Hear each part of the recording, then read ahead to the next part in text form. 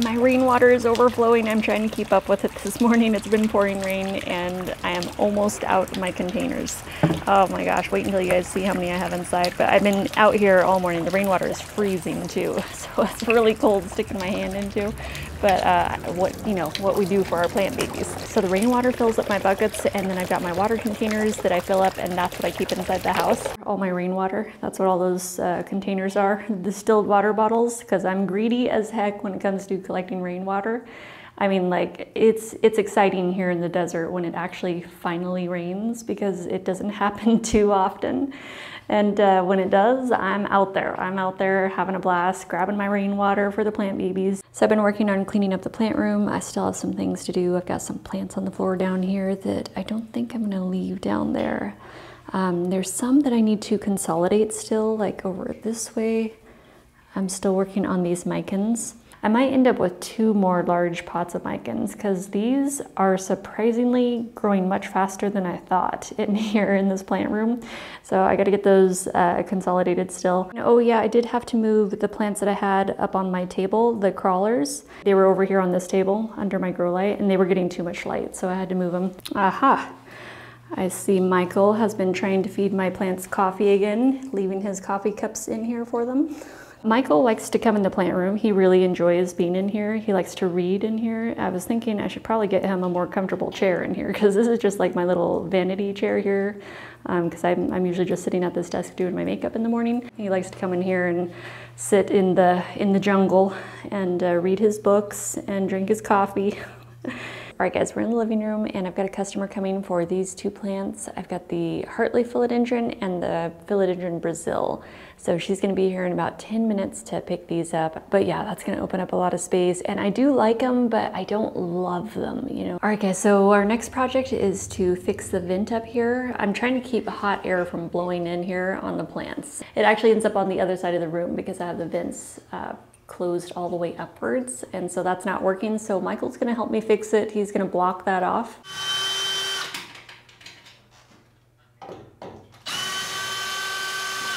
Yeah rigid insulation.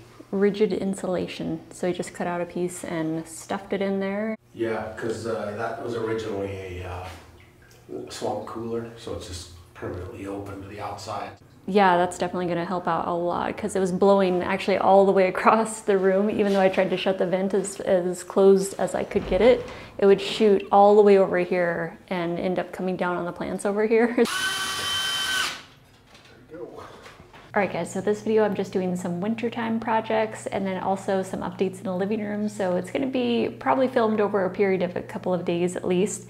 So I'll just hang out with you as I'm doing these little projects. So I decided I'm gonna consolidate all of my Alocasia Black Velvets. I have let's see, I have four of them right now. So these are my bigger ones that I just unpotted. And then also I have two other ones I'm gonna check on and see if I can squeeze those in here too. So my Alocasia Black Velvets, I'm gonna be potting into this pot. I'm gonna consolidate them all in here. I'm just trying to kind of clean up around the plant room and have less little pots of the same plant around and just kind of, you know, getting them all together into less pots. So the mix I'm using is just my coarse climbing philodendron mix because these Alocasia Black velvet, they hold so much water already in the stems and the leaves.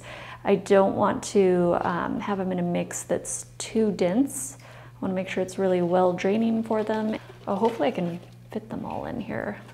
I, I noticed that they do seem to enjoy being more root bound compared to having, you know, excess space in their pots, um, at least for this particular variety. And then here's my other one that I did pot up already in here. Oh, you guys can see. Um, so here's the other one that I did already pot up in here and it's doing great. It's straightened out and everything and it had those two other yellow leaves that it lost when it came in from import. This was an import from Indonesia. Um, it's really liking the soil and it's got a new leaf start there, but I kind of want to put it in here with this one. Okay, it really likes that coarse philodendron mix that I put it in. That was kind of just an experiment, but oh yeah, it's got all kinds of new root growth. So I'm gonna try not to disturb that new root growth. I just wanna kind of slip it in here without kind of messing that up. I wasn't sure how that climbing philodendron mix was going to go for the alocasia black velvet, but my experience with these in the past has been that because they're they have such succulent stems and their leaves are pretty thick and hardy, they tend to hold on to a lot of their own water. Oh, you know what? Shoot, I've actually got one more that I want to put in here too. I got a little black velvet that has actually been kind of struggling because I tried to put it in a self-watering pot and it didn't love it. It did not love it at all. So since these Alocasia black velvet naturally have a spreading habit, I'm hoping they don't mind, you know, a community pot like this. This is the one that I was struggling with and it's a little baby. I tried to do a self-watering pot with it. Um, it, has been getting a lot of edema though, so I've got to take it out of here. It's just, it's in a super coarse mix too, but the combination of that particular pot, maybe, maybe I had too much wick in there. It's got roots growing through the bottom here. So I'm just gonna go and take it out though because it's been getting edema. Might be hard to see, but I'm just sliding this out. It's got some great roots on it. Yeah, that pot was just holding on to too much water. The roots weren't getting enough oxygen. It's in a really coarse mix though, so I'm not gonna disturb the roots. I'm just gonna slip this directly into this pot here. Hopefully just getting it out of the self-watering pot will help it out. All right, there we go. A community pot of Alocasia Black Velvet. And this is the little one here, the little one in the front. That was the single leaf one. So yeah, I feel better about those kind of just being in the same pot with these other ones here. It's just a really nice change to have some plants that aren't constantly having to climb and always needing, you know, upgraded moss poles or coconut husk poles because uh, they're out climbing them. So it's nice to have something that's a little more compact and I can just put it on the shelf and just enjoy it, you know, without it, without it trying to go somewhere. So it's, it's a nice change. So I'm gonna go find a place for this and, uh, and then I gotta clean up my mess here. All right guys, I wanna show you this Anthurium carmelense. It's pretty, pretty rough looking, right? Like it, it had a hard time. This was an import from Ecuagenera from their Ecuador location. I've actually had this since October is when it arrived. And I almost lost it. Like I thought it was going to be a goner. I was trying everything I could to try to save it and get it to reroot. It basically came in, it wasn't looking too good. It ended up losing all of its roots pretty quickly. And I was going to have to start it over, but I couldn't get, like it had a little bit of chonk to it, but I couldn't get it to reroot. And the chonk looked like where all the other roots had been. It looked like all of those nodes had been spent, but I wasn't sure. So I was thinking if I can get any kind of you know, action to happen with this plant, I'm gonna need to stress it out. And so I cut the chunk off. And basically that woke up the very last option on this plant. Look at this, that's a very last node too. That was our last shot. It gave me one root one root, which I'm so stoked on. So I'm gonna be um, putting this into perlite now because it's ready to get out of water. You can tell it's ready to get out of water when the roots are growing straight upwards for the surface because they need more oxygen. So it's ready to go. So anyway, that was my last shot. I felt like it was like that moment from Dumb and Dumber where it's like, so you're saying there's a chance. like that very last fresh node was like the last shot up there. It had just enough energy to give me one root. And that leaf is on its way out. You can see that's like barely hanging on, right? So anyway, uh, I'm gonna switch this water out, um, probably use the same jar and just fill it with perlite, put a reservoir in there and get that rooting as much as I can and keep uh, keep an eye on it though in the perlite. So I don't want to put this into soil or anything yet. And on the chonk, we were able to activate a node, which I will show you guys. At least I think so. So it's in this box here. I'll show you guys that in like a propagation update video though. All right, I got my perlite. Add some to my jar. Yeah, that was a close call. Boy, that thing was almost a goner.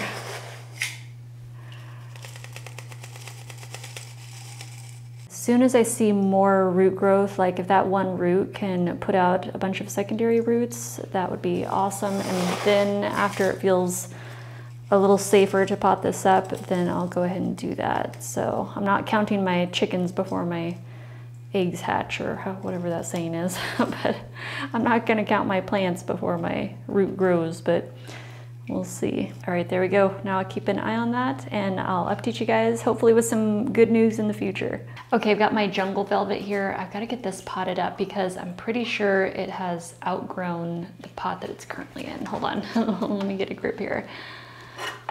Oh, right. Oh, okay, yep. We got some uh, fuzzy white roots coming through the bottom of the pot. Oh, yeah, that is way overdue for getting repotted.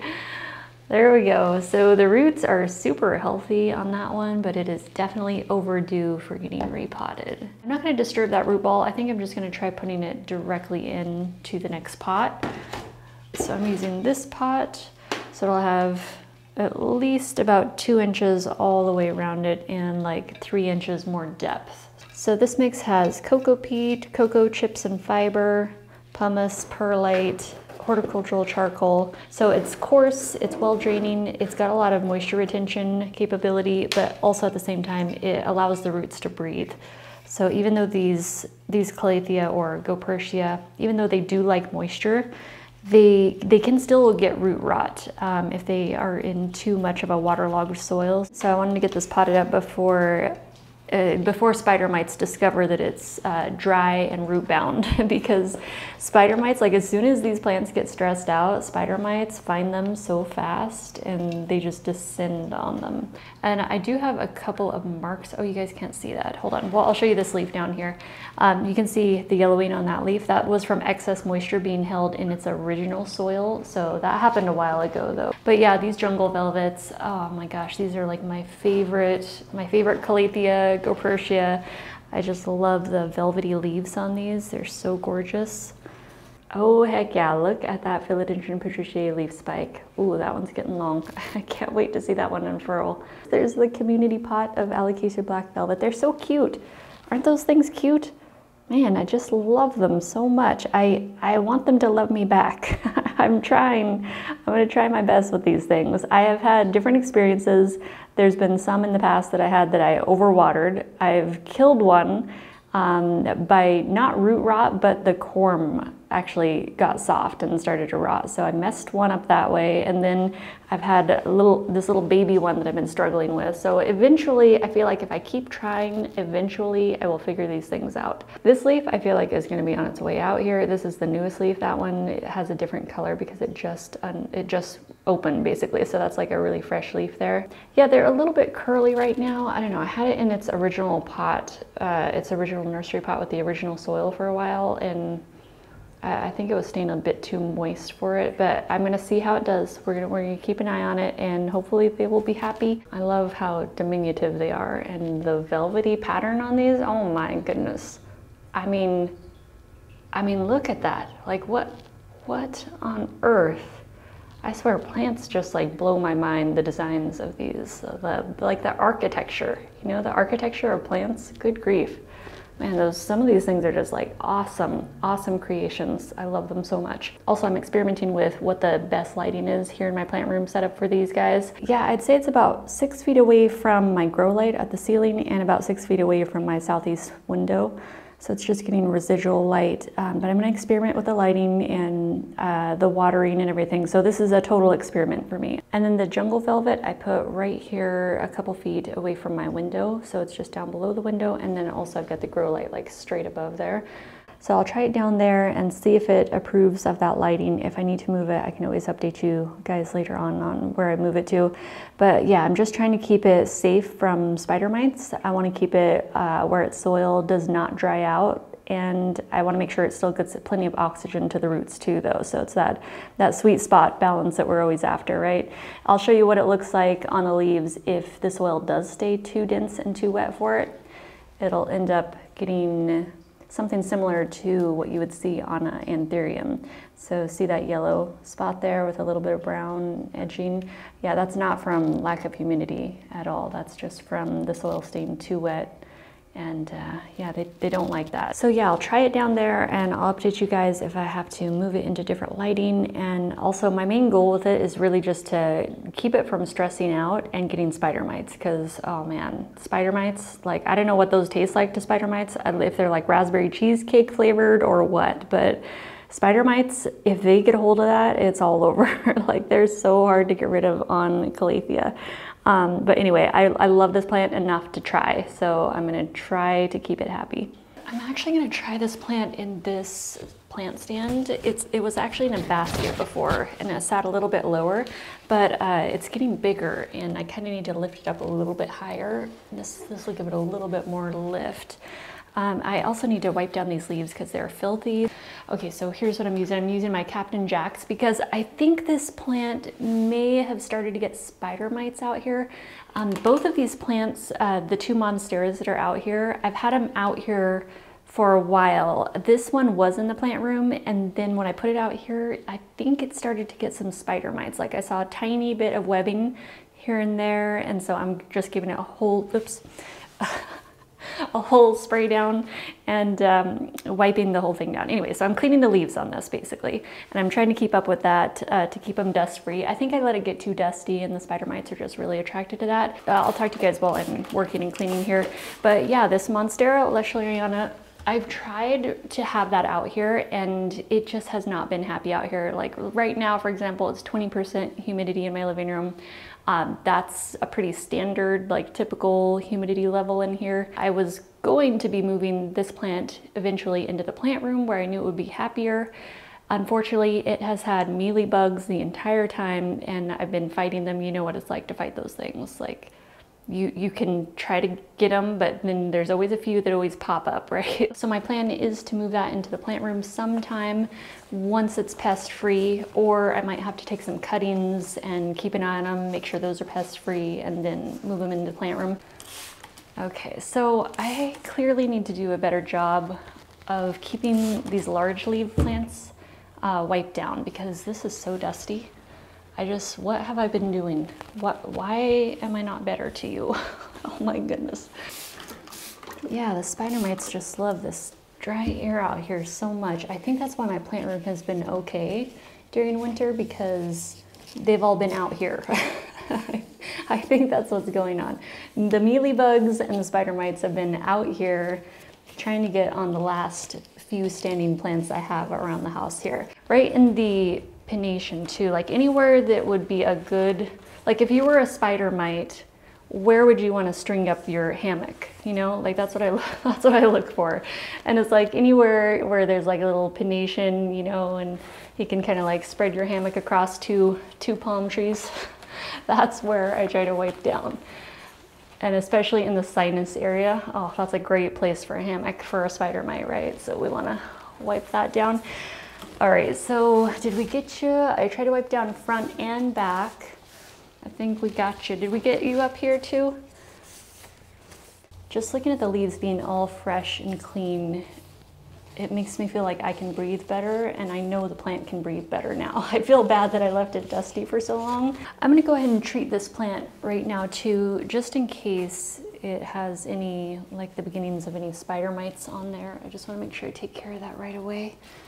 And I think what I'm gonna do actually is probably separate it from this area and maybe move it over to that window. We're just gonna give this a spray down. Also, what I realized is the windows here get too much sun during winter time, so that is adding to this plant's stress because I was trying to give it enough light, but it hates the sun, at least here in the desert. It's too intense for it.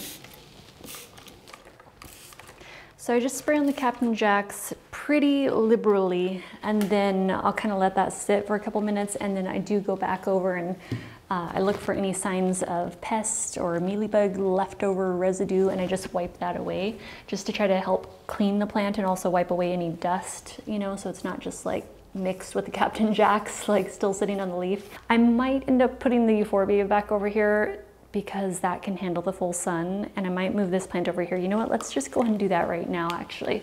Okay, I'm gonna try moving it in front of this window just temporarily and hopefully it'll get less direct sunlight here.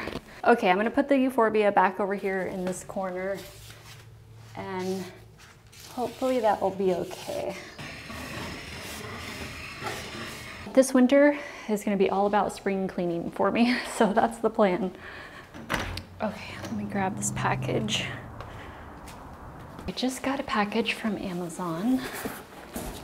All right, let's see here. Oh yeah, okay, right. So I have some packing material for my business. Um, so I needed to get that. It's just the, um, the honeycomb paper that's really handy for packing uh, like crystals and stuff in. So I always have to have that in stock. Um, I wasn't using it before, but uh, like once I started testing it out, it works perfectly. Also that goes with it. So that's just business stuff. And then, oh yeah, oh wow, that's huge. Oh my gosh. So I ended up ordering a turkey baster for when I water my plants in place and I have to suck the water back out of the saucers. So that'll save me some spills in the plant room, which is why I don't have any rugs in my plant room because I have overflowed many of saucers. And I got a set of three of these squeeze bottles also, so I'm able to water my lithops and euphorbia, like the little euphorbia obesis, symmetrica, uh, pseudolithos, like my really tiny potted plants um, that are in the plant room. It just makes it easier to control the amount of water going in there. Okay, I gotta go put those in with my shipping supplies for work and then um, these are gonna go straight into the plant room. So I was just moving around a few things in here, just kind of repositioned the sofa and the coffee table, and then also I moved that end table there. But I've got the grow light now more in the middle. The cord is going under the sofa, so it's not in the way or anything back behind there. Um, but I figured I would move that grow light over that table and utilize that table for a plant there because I think that would be ideal. It won't be in the line of direct sunlight, but it'll be getting a little bit of residual natural light and at least it'll have a grow light straight above it. Okay, I just moved my yoga stuff out from the closet there. I store it away whenever we're burning fires in the fireplace, but we haven't been using the fireplace lately. I'm gonna put my yoga stuff back over here. So I just keep everything like pretty much in a basket. Yeah, I'll just put this right there where I normally do. And then the mats. I usually use two on this floor because our tile floor is so hard. So I do like double up my mats. So normally I just have that against the wall here or close to it. And then my cork mat I use on top of that, these Yoloha mats. I love these, these are awesome. I've been wanting a cork mat forever and I finally decided to go with Yoloha and that is their insignia in case you happen to see it online yeah, that's the brand. They are so good because they're so cushy. And then they have that extra bit of cork on top, which adds to the density of it. It's just awesome. I love these mats. And then my cork mat, I just lay over the top of that. And the bottom of it is grippy too, so it doesn't slide around, even if I have the mats doubled up or if I have it just on the floor by itself. But like I said, I double up the mats because this tile floor is just so hard. So if I'm like on my knees and stuff, um, I, I, want as much cushioning as possible. And then I have my yoga mat towel that I've had for years. I think I got that in Maui at TJ Maxx, I'm pretty sure. But yeah, I've, I've had that a really long time and it's still in excellent condition. I love it, I use it all the time. And these yoga blocks, these are also from Yoloha. I love these blocks. They have like a good they're good solid block and they're not too lightweight where they kind of you know like shift under you they can really hold your weight they're like a very dense cork so i love those a lot of times i do have my blocks out but I'll, for now, I'll just put them back in here. But yeah, I, I, do like those blocks a lot. Actually, what I like to do with this towel is either roll it or fold it in half, and it just adds a nice support if you're doing restorative yoga or something. Um, so sometimes I'll use that for my neck or for my, my knees or something. But yeah, I'll just leave it like that for now. So yeah, that's my very simple yoga setup. I love the cork mat. That's like my favorite new yoga product. I love those so much. I love the feel, the natural feel on your hands and feet when you're on there. It just, I don't know, there's something about the cork I just love so much. And I always like the setup out here because I have the coffee table right here and I can set up my laptop and turn on yoga tutorials. I really love Banana Blondie's style of yoga. And so I've been a member on her website for like I don't, I don't know how many years, well, like 2015, I think is when I first found her and became a member on her, her website. So anyway, I set up my laptop there. I turned on her website, her tutorials. I know this big wall space is pretty blank up here. I was thinking of putting like a big piece of art up there. I just haven't found like anything that really spoke to me yet. So I'm thinking I'll probably end up doing my own like um, desert photography shot up there. So, and I'll have it like turned into a big piece of wall art uh, sometime, sometime. Okay, let me flip you guys around this way because there's some things that I want to change on this shelf over here and a little more plant styling that I want to do. So I was thinking of changing some things back here on the shelf because the plants that I tried back here, although I tried to lush up the living room a little bit with some tropicals, uh, they didn't love it so much. So I needed to switch some things out and because our humidity is so low back here and the open floor plan, there's just no way that I can trap humidity into this area. It just immediately dissipates into the air. So I think what I'm gonna do is try out some different plants that can handle lower humidity, but they're also able to be grown inside. So I was outside looking through my cactus collection, looking for someone who could make it in here and also fit on the shelf and not be too heavy. So I was outside kind of, you know, scoping things out and I think I found the ones that will be happy up here. We're gonna try them out. That's normally what I do is I, when I move plants around, I try to style them. I basically just give them, you know, like two or three months to see how they react and if they can make it or not. Okay, let me show you guys what I got. All right, check that out. Now the thing is about this plant is it gets hairier as it gets older, like it gets long white hairs on it. And if there was a plant that was a hybrid between an aroid and a cactus, this is the one. This is a pendant cactus. So these are a trailing cactus. They're from Bolivia and they basically attach themselves uh, on rocks. They're epilithic, so they grow on like rock faces and steep rock um, cliffs, I guess, and they basically pendant down with these gorgeous long silky white hairs. They are awesome. They, they go through a little bit of a an awkward stage, you know, when they're first when they're first growing, they're like growing vertical, and then the weight of them will eventually make them start to pendant, you know, hang over the edge of the pot or rock face, you know, if they're out in the wild. And then they'll start to pendant and grow straight down, which looks freaking awesome. You can still see the stem pretty well on there, right? Because this is a pretty young plant. It doesn't have the long white hairs yet. It's like just starting to get some more hair on it, like especially towards the tips. You can see more of the white hair. But this is a Cleistocactus colademononis. This one is gonna go on the top shelf here, and right now I do have my Soltech Solutions light turned off. I've got their pendant light, the small pendant light up there. I, I just turned that off because otherwise it'll be like, you know, the lighting will be weird here. So I wanted to uh, make sure you guys are able to see what I'm doing here. But yeah, that Soltech Solutions light I think will be perfect for these Bolivian beauties. And since I was growing these outside, I did have to take my tweezers and clean them up because they had some debris that had fallen in the pots from the trees in our backyard. So I cleaned them up. I also gave them a pest treatment. So I sprayed them down with Captain Jack's just in case and also added a little bit of systemic in their soil. So they're all clean and fresh and ready to be grown inside now. Okay, I'm gonna go grab another pot of them because I wanted to keep the family all together. I didn't want to split up the pots. I don't want them like some outside and some inside. I want them all to stay together. So let me grab another pot of them. Oh yeah, check that beauty out there. I can't get it on the screen there. There we go. This one I'm gonna set down here. I love growing unique plants that have a really interesting growth pattern. You know, there's something just different about them that makes them kind of just stand out. They're a little bit out of the ordinary that's the kind of plants that I like to grow. I like to find things like that. Did I show you guys already that I moved this Soltech Solutions light right here over this table? I don't know if I mentioned that already or not, but um, yeah, I've got it just plugged in over here. I have the cord running under the sofa and I'm just gonna direct the light like straight down overhead on, on this table for the plants I'm gonna have up here. And this is a small tabletop plant stand that I got at Ikea. I really like this a lot. It's just very simple. It's sleek. It looks, looks nice and modern. So I'm gonna grab um, the two smaller pots actually of my Colademononis are gonna fit perfectly on here. So I'll grab those. Let's see, do I need a, yeah, I kinda, I think I'm gonna leave these in these little white saucers, which are actually, well, they're not actually saucers. They're, they're like little rice containers um, from Michael getting those. So anyway, um, I, I always ask him to save those for me anytime he has them. And so I just use those as saucers.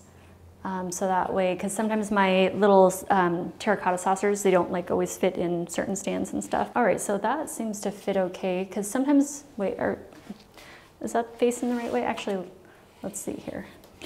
And then this one, yeah, so actually, oh, I'm, gl I'm glad. I've actually potted those in like the exact same size pot. So those both will fit perfect right there. Oh, on the bottom of the Ikea stand, I put felt bumpers. So that way it doesn't like, you know, like if you move it or something, it doesn't like scratch up any surfaces. So I'll try that. And then this light, that one will shine right down on there. I think that's gonna be the right distance for those guys.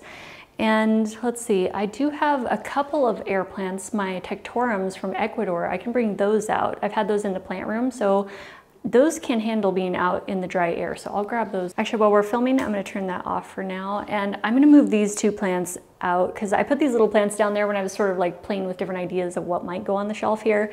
Um, but I don't, I don't really want these here. So I'm gonna move those back out. Also my desert rose, um, the large one, I have that overwintering inside the house. So I decided to move that from the other side of the house to this window here. So that is just gonna be overwintering there. So those go dormant during winter time, um, at least the variety that I have. Uh, I think there's some other varieties that kind of have different dormancy periods, but yeah, that one, uh, it should be totally dormant right now it's still trying to hold on to like the last of its leaves. It really didn't want to give those up. They're kind of just like hanging on there right now, hanging on for dear life. Okay, this might be hard to see. I'm trying to block the sun for you guys, but this winter sun, it's so low. Okay, maybe you guys can see better here. Okay, there's my little Tectorums. These are the snowball tillandsias. They're from Ecuador, and these are a xeric variety, so they're able to handle dry air. They're from a, a more arid environment. So they have all these fuzzy little white hairs that are trichomes, and those little white hairs help them pull in more moisture from the air. And so I have actually two of them on my little Airplant Man stand. I got this from Airplant Man Josh. He's super cool. Uh, I follow him on Instagram and I love his style and his designs. So this is the five inch vessel size and I can just attach both my air plants here. I mean, you could set air plants on literally anything, but I just really like his really minimalist style and I like supporting a small business. And care is really easy because if you need to soak your air plant, you can just pull that right out and let them soak. But normally with these, you just mist them. You don't have to soak these. So yeah, these I mist about three times a week, or sometimes I will just dunk them in water. They typically say not, oh wait, I'm not doing like a care video on air plants. Okay, I mean, I mean not in this video. I can do that in a separate video. Um, but yeah, let me, let me not get too off track here. Anyway, I love air plants, Xeric, Mesic. I love them both, but I tend to go for the Xeric, the really white varieties. Also, these Soltech solution lights, I just have to mention this, but I've been using them for almost a year now with all different kinds of plants. Everything from lithops and other tiny succulents, cactus, aroids, literally all kinds of plants. And you know what? These lights freaking kick butt. Like I love these. They are so awesome. I really want to invest in a couple more of them. So I have their Vita bulb that is in my IKEA floor lamp here. And then we have the small sized pendant hanging up there above the shelf. But both of these have been awesome for growing all kinds of plants. I'm super stoked on these, especially because the color of the light. If you have plants incorporated into your everyday living spaces and you need grow lights, it's a good idea to have grow lights that are easy on the eyes. So when it comes to grow lights, I'm very particular about the color of the light, even in my plant room. So I want something that is gonna be a clean white light, but also has a hint of warmth. Like I don't want it to lean on the cool side because I just find that to be um, not as conducive to comfort Eh, at least in my, my experience just using grow lights and being around them all the time. So I do prefer something that has a hint of warmth to them and these Soltech solution lights are exactly that. Like the light color is beautiful on these. And the color of both of these lights are the exact same, so they match each other perfectly, and that's exactly what I wanted for my living space. Actually, I should do a separate grow light video for you guys and show you some of the different lights. I have like five other lights that you guys never see. They're in my closet right now. I think I'm just gonna sell them um, hopefully someone else can use them because I don't like the color of the light. If you want to check out Soltech Solutions, I do have an active coupon code you guys can use anytime during the year if you want to try them out. Like I'd for sure recommend them. I will have my coupon code listed below. It's Aroid Interiors, all lowercase. So I'll post that below too, but it's so worth it. In case you guys are curious what lamp I'm using, that's from Ikea. I can't remember the name of it, but if you go on Ikea and check out their floor lamps, that's where I got it. Okay, the shelf I'm gonna leave like that for now because I can't update it until I get the crystals that I want, the specimens that I want for display uh, at the end of the month. So as soon as I get those, I'll have to do another update with you guys. And in decor, I love using natural textures and natural elements that are very sculptural. So I use a lot of wood in my decor. So I have this piece of manzanita wood I'll just have it sitting there, some, something like that. It's got like the root on it, which I always love those pieces. I do plan on getting another coffee table book, which is gonna be a plant book. As soon as Enid releases her book, that is gonna be on my coffee table for sure, her plant book. I can't wait for that. It's coming out in May, so I'm on the waiting list for it on Amazon. And as soon as that gets released, I'll definitely be having that on my coffee table for sure. Back there, we got our cactus wood, which I always have that. I've had that like in every video, this big piece, the big cholla um, cactus skeleton, and then I have a little piece of cholla cactus skeleton, and then a piece of saguaro cactus skeleton back there too. So I just like really natural elements. It fits well with the plants, and then, you know, pieces like our coffee table and side table. And shout out to Tropical Collection by Plants of Thailand. I love their Gloriosum pillows. They sent those like, I don't know, a couple months ago. I love them. They're so pretty. They just make me so happy every time I walk into a room and see them.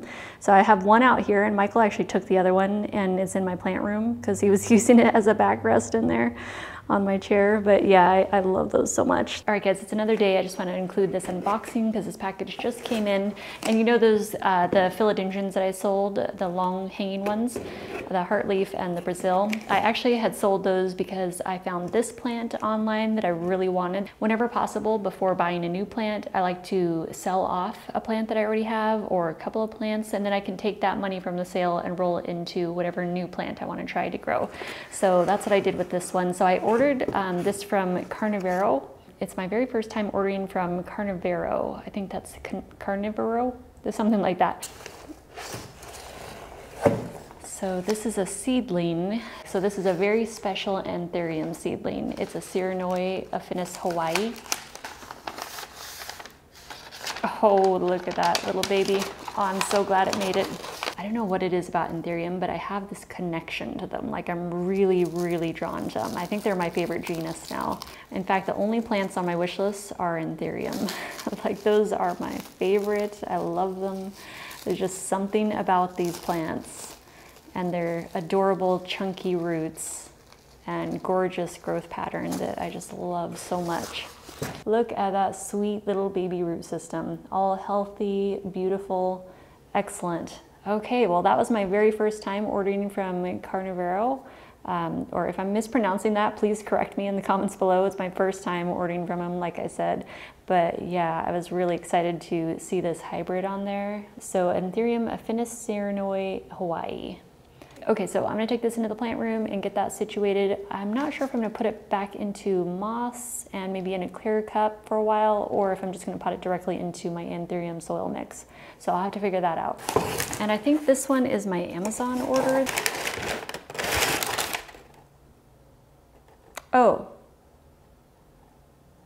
I have no idea what this is.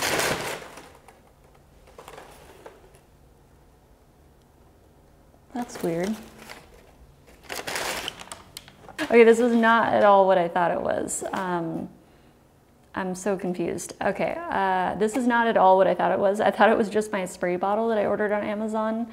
Um, it has my address on there, but this is like uh, light bulbs. That's, that's weird. um, okay, I'm very confused. Let me show you guys what is in here. So uh, there's light bulbs in here, which I don't know, I don't understand why, but what, how? Oh, Tucson? I guess this is from the electric company. so I see now that they have their sticker on it.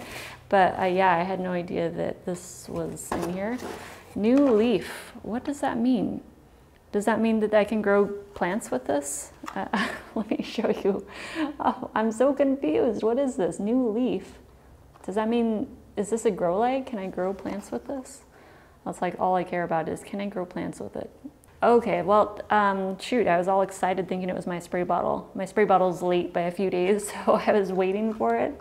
But uh, I was not expecting um, light bulbs, but okay.